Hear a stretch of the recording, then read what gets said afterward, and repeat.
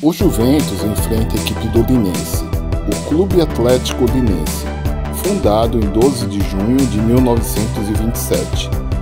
O Elefante da Noroeste foi campeão paulista da Série A2 em 1952 e 2010, campeão paulista da Série A3 em 2021 e campeão da Copa Paulista em 2015.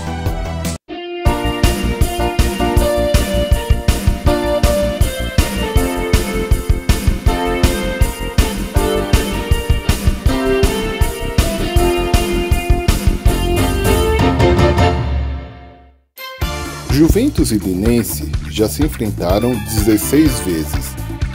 5 vitórias grenás, 2 empates e 9 derrotas. 22 gols marcados e 24 gols sofridos.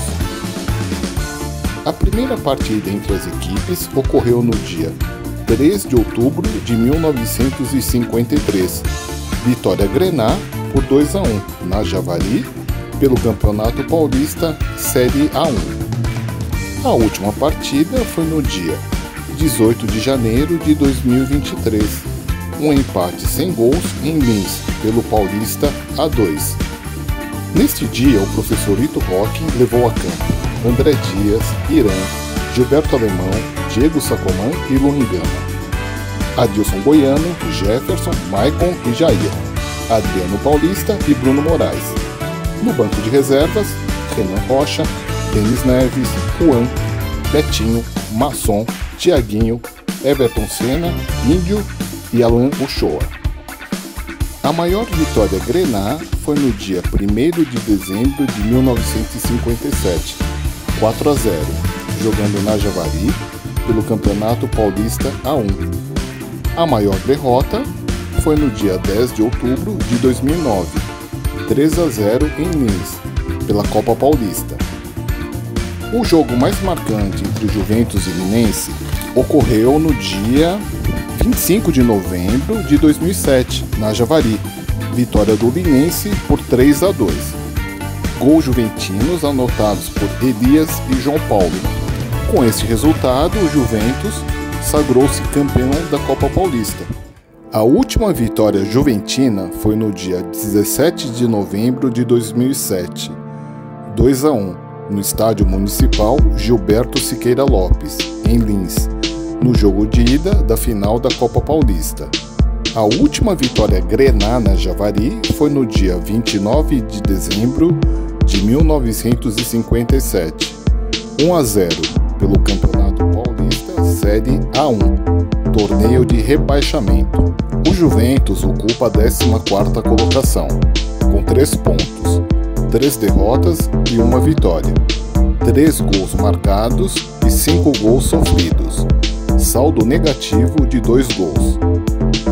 Em seu último confronto, a equipe moquense foi derrotada por 2 a 1 ao enfrentar a portuguesa Santista no Urico Mursa.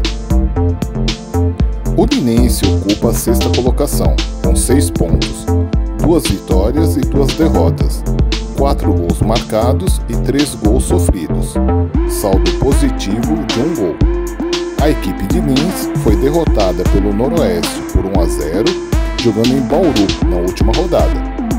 Linense e Juventus buscam a reabilitação neste jogo, mas em condições distintas. O Linense está na zona de classificação à próxima fase, e o Juventus é a primeira equipe fora da zona de rebaixamento. Em seu último confronto, a equipe juventina apresentou-se coesa e bem posicionada. Vencia a partida por 1 a 0, mas após as substituições perdeu a coordenação, principalmente pelo lado esquerdo. Enquanto Thiago Rubinho esteve em campo, a segunda linha se fazia presente na marcação. A saída de bola juventina é feita de forma sustentada de 3 mais 2, com um dos laterais compondo a linha de três e o outro avançado ganhando profundidade. Ao enfrentar uma linha alta de marcação e sofrer pressão, o Juventus tenta quebrar esta linha pelas laterais.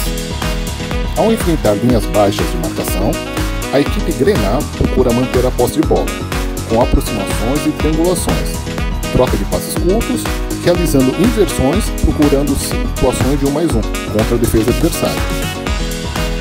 A principal jogada ofensiva é feita pelas laterais, buscando cruzamento para a grande área. A transição defensiva é feita alternando a pressão após a perda da bola, procurando atrasar o contra-ataque adversário e a recomposição rápida. A transição ofensiva é feita de forma direta.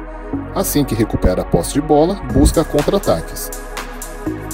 Defensivamente, a equipe da Moca se posiciona no 4-4-2, em bloco médio, com marcação por zona, fechando também as laterais. No levantamento de dados de confrontos, tivemos o apoio da torcida Setor 2. Agradecemos a colaboração dos amigos Paulo Sintra e Max Figueiredo. Curtam este vídeo, compartilhem e nos sigam nas redes sociais. Até a próxima!